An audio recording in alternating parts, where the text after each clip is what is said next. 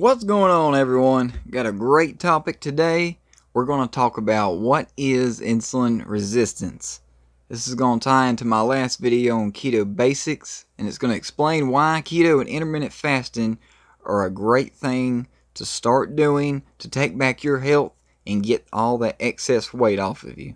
Insulin resistance is the body's defense mechanism against excess sugar, aka glucose.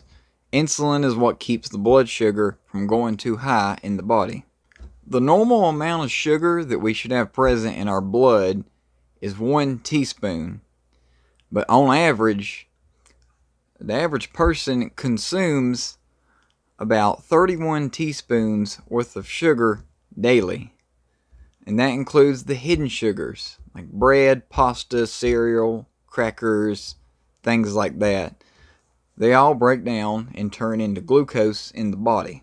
So when you eat any kind of carbohydrate or sugar, what happens is those stimulate insulin more than fat or protein. It goes carbohydrates, protein, and then fat. And fat almost doesn't stimulate any insulin at all. But when you eat carbohydrates and sugar, they go in, turn into glucose, they raise your blood sugar, the pancreas releases insulin to take that and get the cells to open up to let the glucose in. When you're eating you know, three, four, five, six times a day, and it's a higher carbohydrate diet, which is what most people are eating, the cells get resistant to the insulin. They get to where they don't want to open up and let the glucose in because, as I said earlier, it's a defense mechanism because sugar is toxic in high, excessive amounts. They get to where they don't want to open up no more.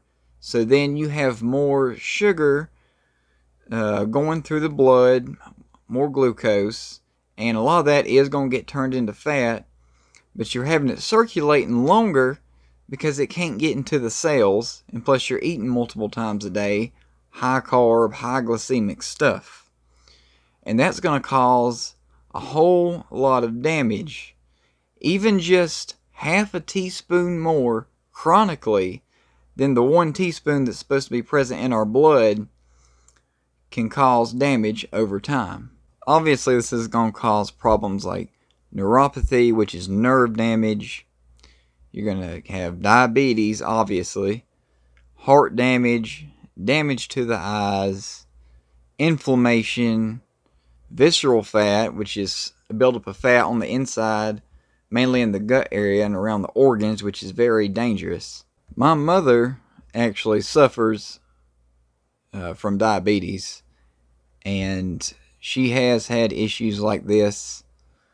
And uh, God bless her, she she tries to do right, and but she still she still has a lot of things that need addressing but um, I've seen her suffer specifically from neuropathy, and I'm telling you, it ain't no fun from what I've seen. It's extremely, extremely painful.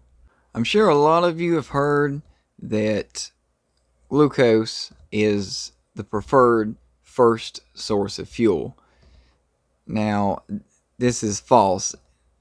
It's the first source of fuel, and it's what the body's going to go after first because it creates the most damage. It's the most dangerous it puts the body into a high alert situation, if you will, and it has to go and dispose of it first. On average, you have about 2,000 calories worth of sugar stored in the body.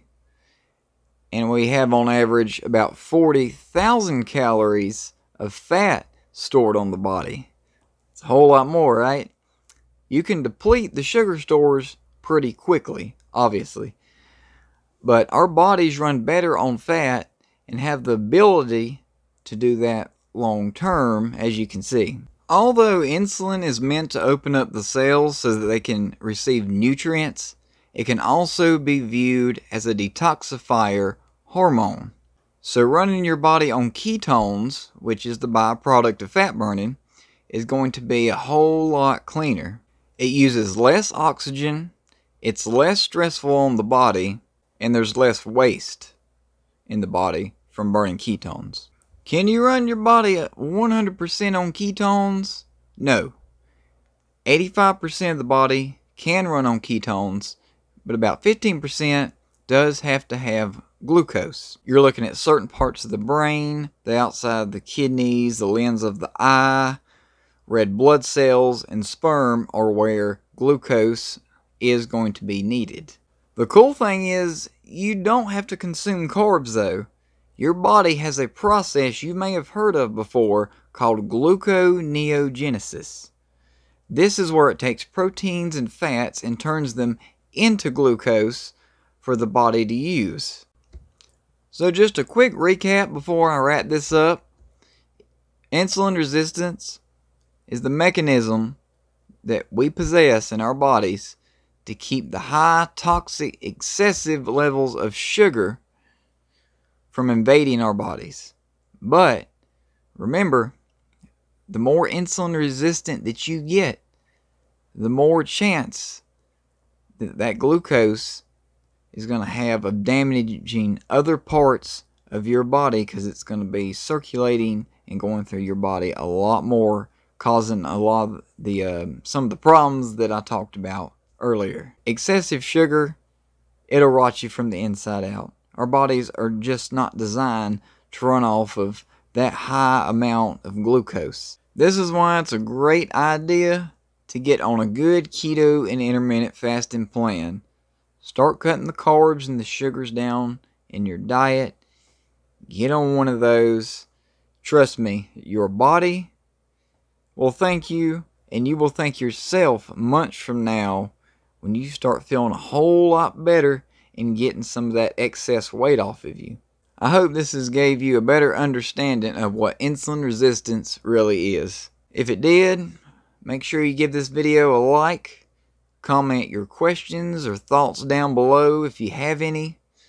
If you're watching this on my YouTube, make sure you hit that subscribe button and that little bell icon so that you don't miss any of my new videos that are going to be coming out weekly now. Cheers to a happier, healthier you. I'll catch you guys later.